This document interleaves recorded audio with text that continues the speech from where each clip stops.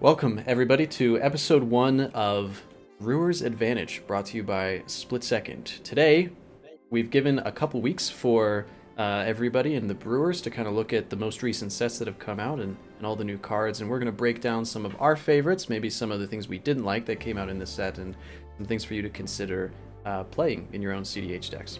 So today, specifically, we are going to go over Karlov Manor, the Karlov Manor Commander decks, and the subset of Clue, the um, MTG Clue set that came out. So you will see cards from all three sets uh, today in the review. Um, and then hopefully, while we are going through, we'll remember to each give a card a rating.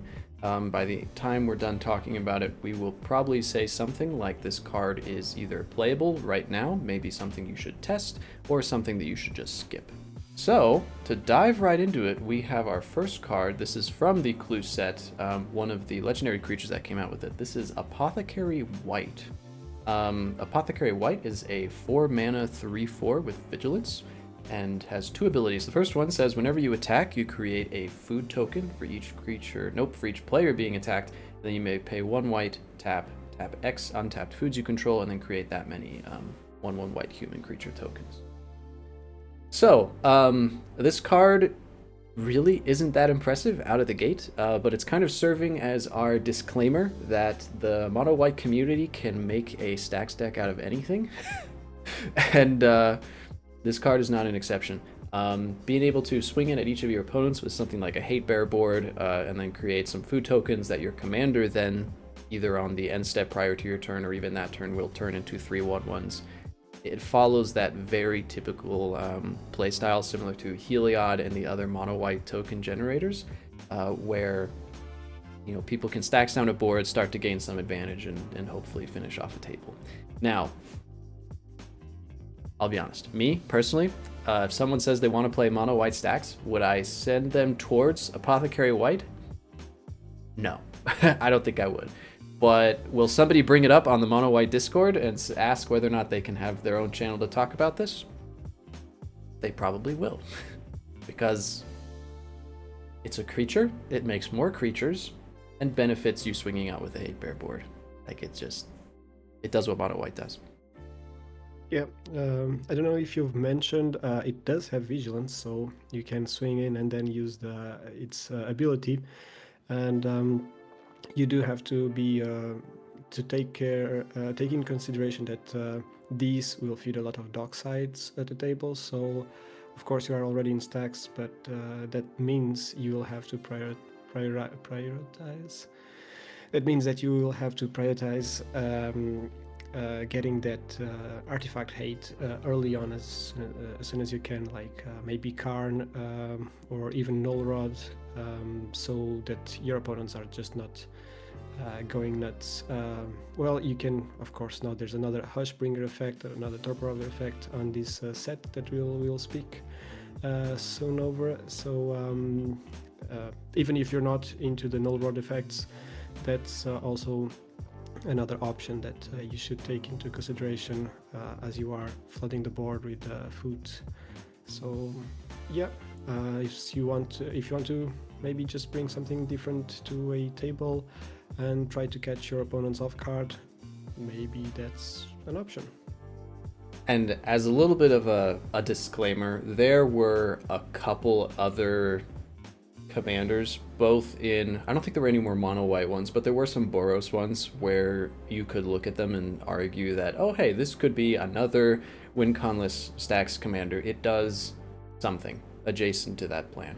Um, for the sake of the time of the video, we're not going to go over every one of those options um, that did come up. We did note them while we were looking through the sets and be like, oh look, this is something that could potentially just be played in a in a win stacks build um, you know, with this card at the helm.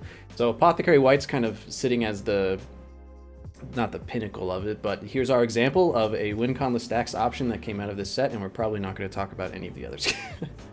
Because there's, uh, if it has combat, it creates tokens, you know, congrats, you, you made a win conless stacks deck. Um, anyway, so for me personally, my vote is going to be to skip it. Um, Mono White doesn't particular. I mean, sorry, I love mono white. I play Teshar, but mono white stacks specifically Apothecary White doesn't do anything that really hypes me up um, as being unique. What about you, Ball? Um, yeah, definitely. I think uh, I think you have better options. Um, you could try to venture into the blasting station routes of using the humans uh, to maybe uh, police the board a little bit uh, or just get some uh, flowering of the white tree. I think it's a good anthem that came out recently and protects a bit apothecary white and also bumps buffs your one one white human board. So I don't I don't think that's basically you're already playing a tough archetype and with the, the, the, 100th Card that you want, the, the commander, doesn't bring much to the table. If you say this is already a stacks piece that you can access on turn one, then go for it. Otherwise, you're already on a hard archetype to, to pilot, and you are literally just uh, using the 99 to to do something because the, the card itself, I don't think it brings much. Uh, basically, helps you finish the may, may, we, we can say it helps you finish the game, which is what Stacks usually uh, struggles with. But even so, I don't think it helps you that fast. So yeah, it I would skip as well. Admittedly, it does do cool things with altars. Um, like, does this commander yeah. help you ramp into uh, an Elesh Norn or even a Calvary? Sure. It does. Alrighty, moving on to the next one, we have Delney. Delney? Delney? Streetwise Lookout. Yeah, so uh, Delney Streetwise Lookout, um, it's a legendary creature, so you can actually play it as a commander as well. Human Scout, 2-2, and it uh, reads, creatures you control with power 2 or less can't be blocked by creatures with power 3 or greater. So it gives some sort of evasion um, as a static effect, and it has another uh, ability. If an ability a creature you control with power 2 or less triggers, that ability triggers an additional time. So basically, it's um, like a, a, roaming throne um, ability that uh, uh, when I saw this card, I was a bit bonkers. It does cost 3, and uh, we've had some discussions where this could be a little bit of a, a win more card. I just keep finding ways where this um, disability is uh, being cost just three, having just a, a three mana value uh, cost. I think it's uh, good to have access to such an effect at a lower um, on, on, a lower mana curve. I think it in um, some decks that uh, have uh, less colors. If you're not um, on a four color deck, five color deck, I think for those decks you'll have uh, a higher card quality to trim down to 100. I think you uh, can find uh, spots where this card can can just change the lines of the combos you want to do, or basically give you a lot of, of value during a, a, maybe a mid-rangey um, uh, strategy. For me, this is landing in a test it slot in my mind. Um, there's been a lot of talk in the community about this being a little bit more on the win side, the win more side of things, uh, rather than being a completely necessary card. Uh, making your creatures with a power 2 or less um, unblockable by bigger stuff is good. It lets your Tymnas get through Kroms and lets Delney and under a Tymna board get through a larger uh, a larger board state. That's cool. That is applicable in a lot of places. Um, the trigger doubling, when it comes to triggers, most of the time we're playing a card that has a triggered ability, it's because that single triggered ability lets us win the game with just it happening once. Right? Like, with a high enough dockside count, most CDH decks are built to win the game off of one dockside trigger.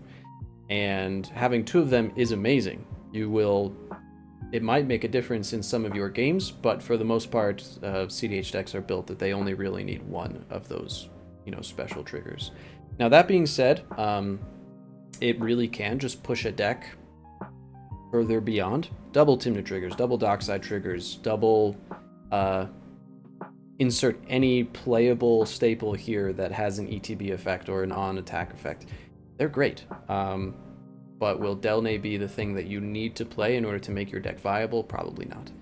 Um, so it's for me, it's landing in like a go ahead and test this.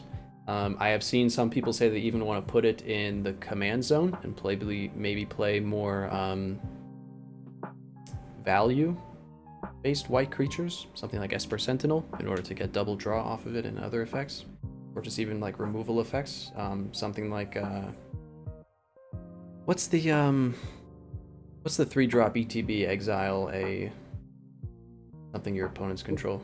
Yeah. You know what I'm talking Skyclave about? Apparition. Skyclave, yeah.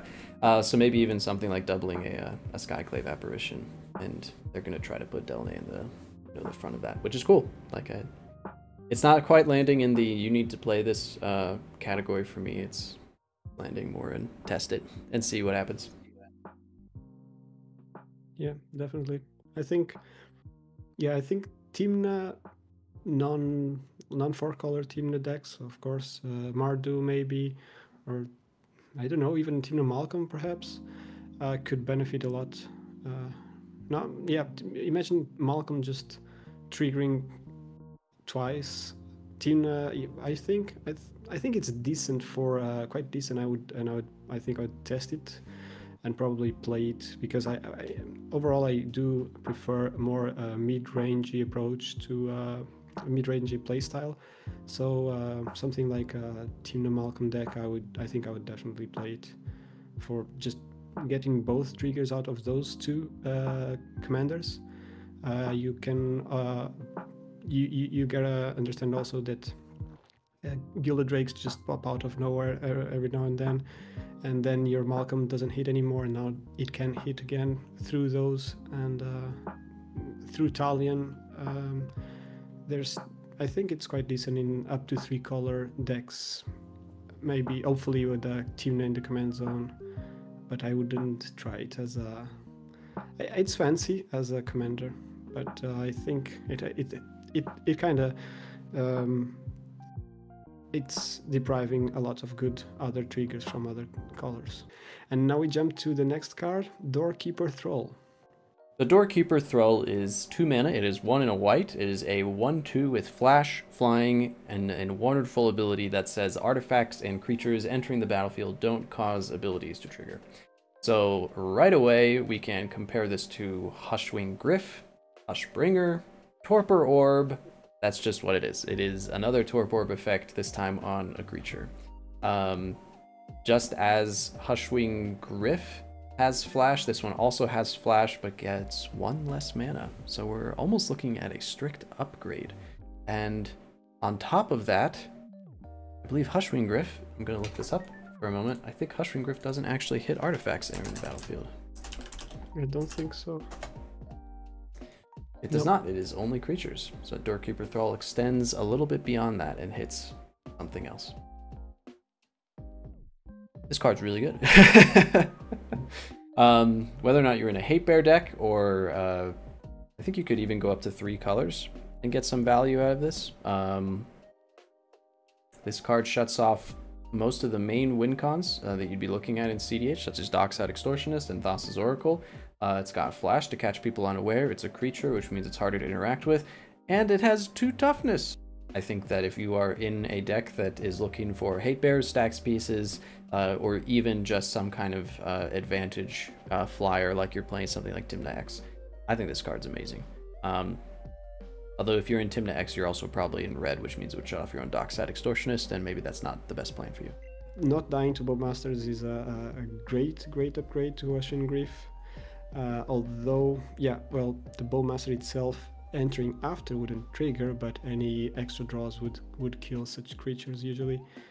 Uh, evasion also on flying, like, uh, great for Tymnas if you are into that. Yeah, you, you could even play it maybe in a more uh, stacksy list, like a Raffine Scheming Seer, um, or um, and you, you gotta also remember that it also stops uh, artifacts Imposter Mech gets you a Dockside trigger over a uh, Torpor Orb, but not over this. Oh, okay, yeah. Yeah, yeah. So in Imposter Mech and the new um, 4 mana copy uh, effect, the Machine God's Effigy. Oh, okay, Machine God's Effigy. Gotcha. So uh, in Imposter Mech and Machine God's Effigy uh, would actually bypass uh, regular Torpor Orb effects, while this one actually uh, cuts them down, all the grinding station effects. Uh, so if if your opponent is going to through a breach line with grinding station, this also uh, stops the grinding station from untapping. So it's actually uh, it, it it goes goes wide. It's the power creep finally uh, hitting a torpor orb effect. So definitely definitely a playable card. For me, this is a play it. This card is definitely something that if you are in these colors and in this strategy, give it a shot. Card's great. Up next, we have uh, Trouble in Pairs. It's an enchantment, uh, two colorless and two uh, specific white uh, pips. And it reads If an opponent will begin an extra turn, that player skips that turn instead. So, uh, goodbye extra turns for uh, players, I guess. And it does have another line of text. It says Whenever an opponent attacks with two or more creatures, draws their second card each turn, or casts their second spell each turn, you draw a card. So you have three conditions uh, that um, will allow you to draw a card. Basically, um, an Rhystic trigger, and they draw their second card. You also draw the card. Um, a second spell, and you also draw a card. And uh, those Tymna players just uh, attacking with two creatures uh, to draw more cards, you also get to draw a card just on the attack. So basically, if you happen to find a removal, you can uh, even kill Tymna to to deprive them of their triggers. So um, I am a bit sad that this card costs four, um, but yeah, white white can get uh, have it also. Uh, we already have a quite of um, can take an extra turn effects uh, available to us in CDH, and actually I haven't seen them see play a lot, but this one. So I well, this is not the I wouldn't say this is the best line for this enchantment. What you really want, I think, it's the card draw, of course. The second line, the first one is a bit of a um, uh, cherry on top of the cake, especially when there's a lot of Tivit uh, players out there still uh, jamming the the same old uh, combo. Uh, but costing four, we do have a Smothering Tithe, uh, also costing four and seeing play in several decks. So I guess um, in overall we can say CDH is is not as fast as we sometimes might think of it. Uh, the average turn to to close the game is around six seven usually. Uh, based on some numbers, you can don't, don't, don't quote me on that. But uh, what I mean is, four might seem a lot, but it also might not. So in it can it can see you can find some place in some uh, lower color decks, I would say, especially a stacks deck that um, usually tends to um, lack on card draw. I would say. I want to point out that uh, not only does this hit Tivit, but thanks to uh, a certain really famous CDH pilot, Narset, is also uh, making a little bit of a splash again. And be Oh, that as it is, Trouble in Pairs does hit that as well. Now, um, to be clear, I would never play a card specifically because it hit because it hits extra turns. That's just not and shouldn't be a priority for uh, for people in deck building unless you were talking about a very specific local meta. Then of course, you know, if you're playing against Tivit, Narset, um, or some other type of extra turns combo regularly, uh, sure, by all means, go ahead and play uh, Trouble in Pairs because of that first line. Now, as far as the second, um, I don't want to break down each of those. You're probably not going to get attacked when this happens. Uh, if you drop Trouble in Pairs, even the Tymna player will probably leave you alone. Tymna might be satisfied with just your two other opponents because they don't want to give you card advantage. At least that's my thought. Um, casting their second, drawing their second spell each turn is um, a printing of Faerie Mastermind, right? So Trouble in Pairs is covering attacking with two. It's covering Faerie Mastermind, and casting a second spell each turn is uh, very similar to both Crom and Mangara, I believe is the, the white equivalent of Crom that doesn't see any Mhm. play, but could, maybe. so, uh, yeah, again, for me, it's landing in uh, kind of a tested sort of sphere. I don't think this is an auto include anywhere. I think if there is still um, a group of pilots that are playing a Staxier version of Sythis, there's a chance that this would be playable. hmm Yeah. I want to point out that uh, when when we read stuff like this, if an opponent would take uh, would begin an extra turn, that player skips that turn instead. And we always think about uh, Tivit. Uh, you mentioned Narset really well. It's quite a recent um, uh, return of the card. I do love Edric, but no need to mention uh, that uh, it's just not a, a deck at the moment. The thing though is there's a lot of decks that actually win after Final Fortune, and um, Final Fortune sometimes just I, I, I just we just forget that players not running Tivit or Narset do take extra turns thanks to Final Fortune, and it's their like winning turn usually. So I I would be incredibly tilted if uh, I had a win in hand and it relied on a Final Fortune, and there was a trouble in pairs uh, in play. I would be very unhappy with uh, with my existence if that was the case. Yeah, yeah. Up next is Unexplained Absence. Unexplained Absence is an instant that costs 4 mana, it's 3 and a white, and says for each player, exile up to one target non land permanent that player controls. For each permanent exiled this way, its controller cloaks, cloaks the top card of their library. Um, and then cloaking a card is uh, just flipping it face down as a 2 2. And if it is a creature, they, they could turn it face up again. Um, and that creature has ward. So the big reason we wanted to look at this was because nowadays, with just how valuable each CDH deck is becoming, odds are when you try to go for a win, there could be more than one piece that is trying to stop you. Um, when this happens, blue decks have the option of just overloading a Cyclonic Rift and removing everything that's stopping them, such as, you know, enemy Rhystic Studies, something you're trying to go for a, a Storm turn, but other decks that aren't in blue might not have that option. So we'll see this in Golgari when players will slam Culling Ritual because they want to wipe an entire board of the pieces that are probably holding them back, like a Drannith Magistrate or a Mystic Remora.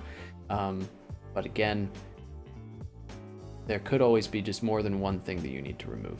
An unexplained absence is that uh, that window for a about to go to my turn. I have open mana for Thrasios activation or something. Anyway, you have four open mana, and you want to be able to just pick apart um, what your opponents can, you know, stop you with. Yeah, yeah, exactly. Being an instant, I think it's uh, quite uh, makes the card possibly uh, playable. Um, there's we need to test whatever we we can do about it. Uh, if you're in uh, low colors, you don't have access to blue or to some other, I wouldn't say mass removal, but uh, pieces that uh, cards that can remove you more than one um, permanent, then um, then these I think it's good to take in consideration. Um, it does exile them forever. We can compare it to a, a grasp of fate effect, what which is a card you perhaps could see it in Zerdex and nowhere else other than maybe some stacks lists. Uh, the thing is, Grasp of Fate does bring the cards back, and you you can also be um, um, surpri- not surprised, but you can also be taken uh, by, by, surprise actually by with a Boseiju on the Grasp of Fate, where here you just get rid of those pieces forever, and then uh, you can try to go for your win you are, although you are do giving them um, uh, something back, the two two creatures. Um, well, it it you are giving them back, but maybe not that much. What I mean is, uh, usually the CDH creatures you want or you have in your decks, they are usually, if they are good ones, they will have usually ETB effects. So maybe you're actually putting a Gilded Drake or a Dockside or a Thassa's Oracle cloaked, and then it's the, the person will have to bounce it or do other stuffs to get access to it. Otherwise, maybe it's a dork, or who knows, it's an ad nauseam and it just stays there. So I wouldn't say as a completely drawback that you're cloaking uh, a card for each opponent, and um, it it just pains me a little bit that it costs four, but it's an instant, so I would I would give it a try for sure. I would do the same thing. Um, I think especially, like you said, it's really important to consider what you could hit off the top with this. Uh, if you hit a creature that has an ETB, I would consider that a success. If you hit any non-creature, I would consider that a success because they can't flip it up and they just get a 2-2 creature. So if you end up Nowadays, CDH decks are so good that getting rid of something that your opponent has permanently is great, even if it replaces it with a creature. We still play Swan Song, we still play Skyclave Apparition. Those things give you um, creature tokens, you know, when they resolve and, and end up removing something of your opponent's. Unexplained Absence will end up hitting not only the thing that your opponent had, but it could end up hitting something even better. Now, it's a gamble, right? If you end up hitting something really good off of your opponent's board, that's unfortunate, right? If you end up hitting a Talion or uh, a Ranger Captain of Eos, a Grand Abolisher, that's actually the worst thing on the planet. hitting a Grand Abolisher would be so bad. Um, but at the same time, you know, there's a toss-up of maybe you don't end up hitting that and you end up hitting something good for them. So this could be a one card for three. Um, just from the, the pieces you removed from your opponents. It could be one for six, because if you get three really good hits from your opponents, you could also use it to advance your own board. So this is for each player and not for each opponent. So you can hit your own stuff. Now, why you would want to do this? Maybe um, you, you, can set your own uh, Grand Abolisher there. You yeah. early tutor, and then you unexpectedly absent, well, things are happening. Players will see the writing on the wall, but who knows if you have the counter magic to back it up, or uh, and then you get a Grand Abolisher into play this way.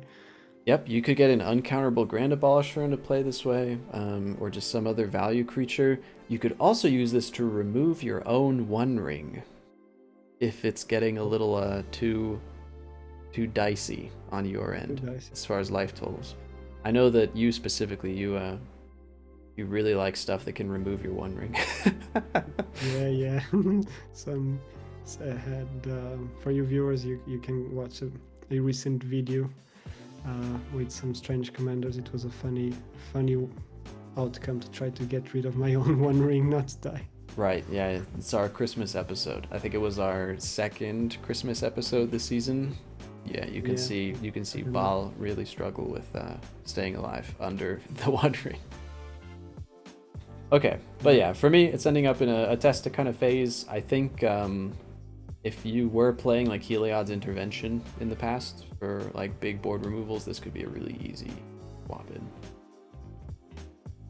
Okay, up next is Unyielding Gatekeeper.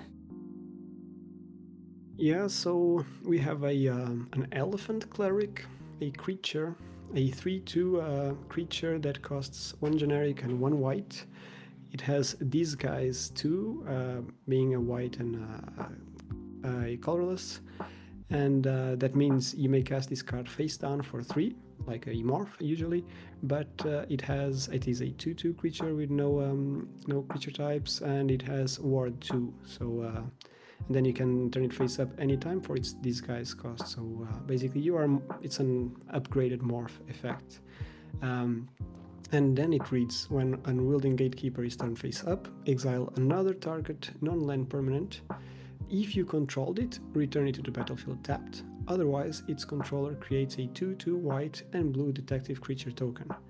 So basically, you can see it as a uh, way to blink your um, it's a versatile card. You can blink your own stuff, uh, or you can um, exile something from an opponent.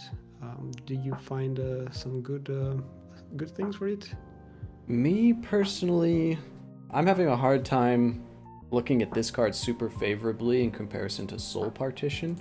So Soul Partition's a, a two mana instant that exiles a non-land permanent, and then uh, they can replay it, but if it's an opponent's, it'll cost two more for them to cast it, and if it's yours, uh, it doesn't cost anything more. So Soul Partition has a similar level of versatility, where, for example, on my turn, um, if the thing that's really stopping me is, say, a Drannith Magistrate, um, I can Soul Partition away my opponent's Drannith Magistrate, and not only will it cost them two more to cast, but because it's a creature, they have to obey uh, timing restrictions, and they won't be able to cast it on my turn and so I can, you know, from that perspective, it was removal. From the other side of things, I could soul partition my own Dockside Extortionist and then recast it for two mana. Um, I think as far as costs come out, it would be three mana for the cast of Unyielding Gatekeeper and then two mana for the Disguise flip, so it'd be five mana total to, say, get another Dockside trigger. Whereas for Soul Partition, I think it would only be four mana. So I think for me, unless I was specifically looking for a creature that would fill this slot, or perhaps a uh, an effect that is much harder to counter, I would end up sticking with Soul Partition. Could see uh, more play either as a Stax on a Stax list because maybe you are uh, running Deafening Silence or you are running Archon of Emeria and then you have that window to exile something and still do something in, on your turn? Or um, or even blink something that you do want on your side of the table? And um, being also being able to to go for this effect on a on two different uh, turns say like you morph it you disguise it first and then later on a different turn you use its ability for two so i think these could be it could be seen play maybe on a Staxi list or something that wants to um, have more blink effects and maybe uh, due to uh, not having access to other colors, it's just running these. I think at the end of the day, every brewer has to consider that they are in a very heavy, um, like mid-range counterspell infested meta, and anything that you have that can get around counter magic will probably give you some amount of advantage um, over what you're playing against. So, for example, I can talk about Soul Partition all I want to, but at the end of the day, it loses to every counterspell um, on the planet. But Unyielding Gatekeeper wouldn't. Unyielding Gatekeeper would really just have problems with um, Deflecting Swat, and yeah, and that'd be about it. So yeah, I think, and maybe as as time goes by, I I I wonder if at some point we start seeing decks with more disguised creatures and who knows even morphed creatures that people will get go back uh, in time to to scavenge the the morph ability and maybe this uh, becomes even more playable because it's more unknown information for your opponent to deal with uh, again uh, harder to counter unless people just change their uh, their their playstyles and their counter magic uh, uh, suite. The it just countering a, a, a disguised creature is something I, I doubt we will see unless uh, something just uh, takes over the, the, the, the, format. So I think at some point this creature can become more relevant than whatever is going to, to happen with it uh, in the just the, the near future. Yep. Assemble the Players is a 2 mana, 1 and a white enchantment that says you may look at the top card of your library at any time, and once each turn you may cast a creature spell with power 2 or less from the top of your library. Now, this might be a better thing for you to talk about. I'm personally not the biggest fan of cast from top of library enablers, um, but I know that you are you enjoy these as an extra form of card advantage. So yeah, I I was really hyped uh, about this card, and uh, well, I do love White Weenie for a long time. I I love my old Darien um, mono white deck, and um, so when I see these, I kind of get a bit hyped.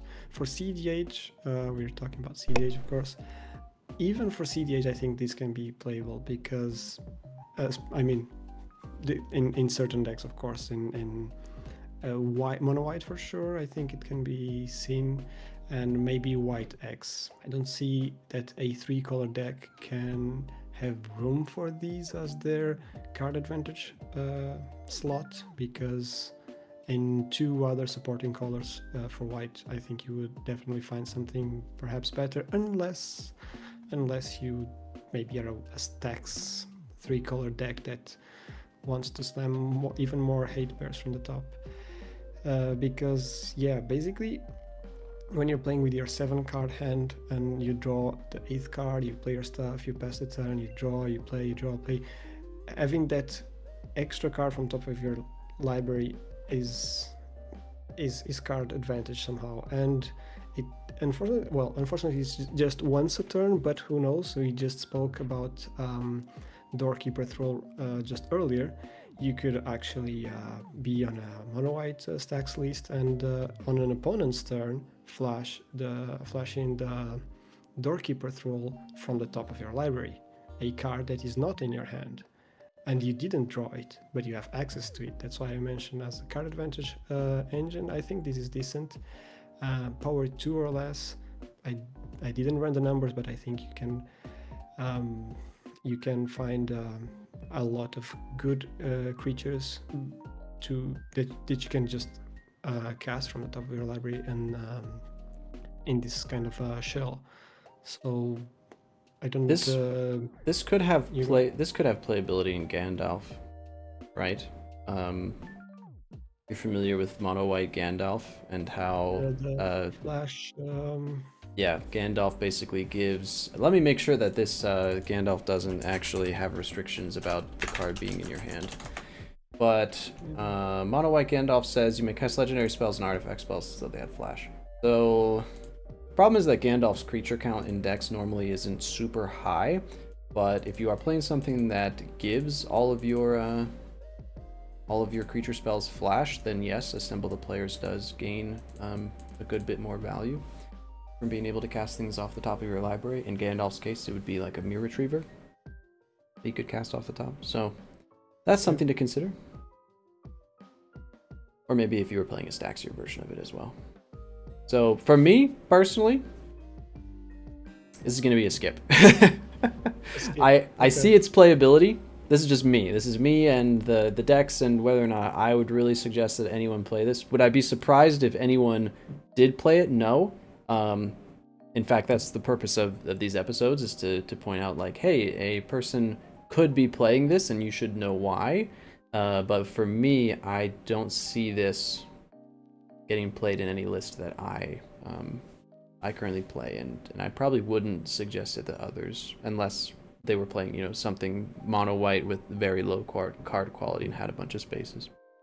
Just me. What about you? Are you leaning more towards testable? Uh, for sure, testable.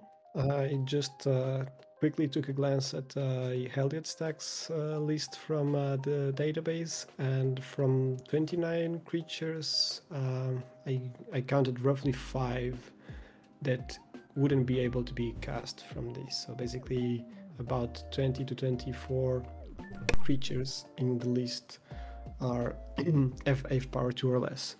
So I think definitely testable and maybe I, I maybe playable. Okay. As as mono white maybe. Hello. I promise that nothing has gone wrong with the video. Um, Ball is just stunned that you actually made it this far uh, to the end of such a long review, and we've only made it through white. While we were not only recording, but in post-processing as well, uh, we sat there and realized that if we put all of these together into one video, you might be sitting here for four hours having us break down the most recent sets. So what we decided to do is break them up into colors. So we will end up releasing white first and followed by, I believe, blue next, and we'll keep going down the line. The videos will vary in length white will probably be the longest. So thank you very much for actually sitting through this. We uh, wanted to try something new. We're very open to feedback. We don't often show our faces on the channel. You probably don't even recognize me just because I haven't appeared in any of the live footage. So again, thank you very much for watching. We hope you'll enjoy the next one. That'll be coming out probably within the next day or even within the next uh, couple hours as soon as it can get edited. So stay in tune for that. And uh, please leave us uh, a note in the comments if you liked this, if you want to see more of it. If you don't like our faces, that's fine too. Leave a comment saying so. We're happy to hear any feedback you have. So thanks for watching.